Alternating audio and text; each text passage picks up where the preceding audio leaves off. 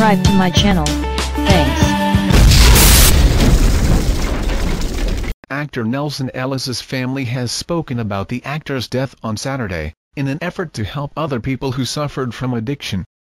The True Blood star died after years of suffering from drug and alcohol abuse. In a statement, his family said Ellis, 39, was ashamed of his addiction and did not want to talk about it. But they added, his family, however, believes that in death he would want his life to serve as a cautionary tale in an attempt to help others. Speaking to The Hollywood Reporter through his manager Emily Gerson Saines, the family's statement continued, Nelsan was a gentle, generous and kind soul. He was a father, a son, a grandson, a brother, a nephew, and a great friend to those that were lucky enough to know him.